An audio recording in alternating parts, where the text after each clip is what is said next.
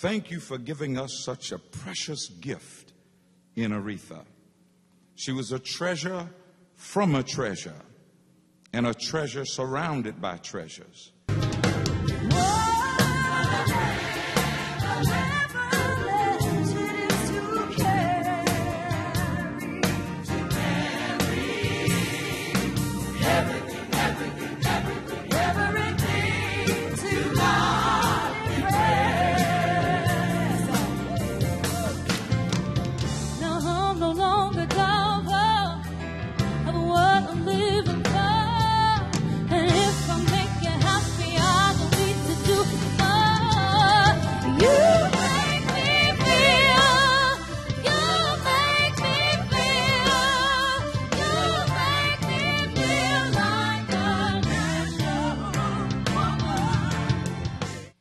Aretha Franklin was given special gifts, but she used it in a special way. And she would not want us to celebrate her without talking about she stood for something.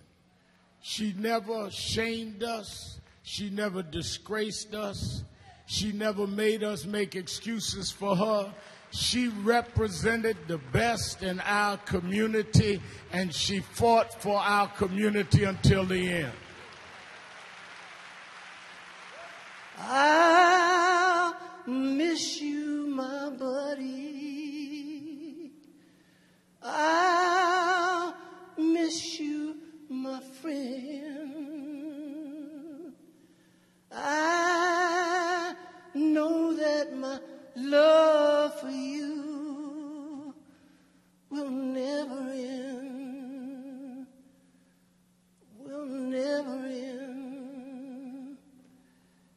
Gonna love you forever.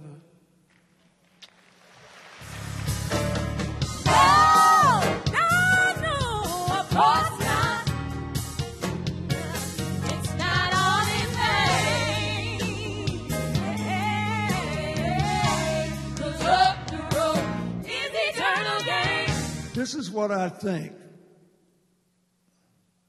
You should remember in this time about this magnificent woman. She worked her can off to get where she was. She took the gifts God gave her and she kept getting a little bigger every day. So, I can do.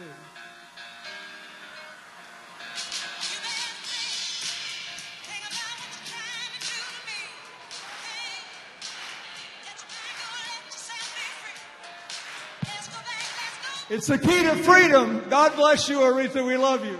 She comes out and she starts singing, and all of these upright, stiff politicians are all over the place. And but when she sang, all of that went away. All that pomp and circumstance and pretension went away.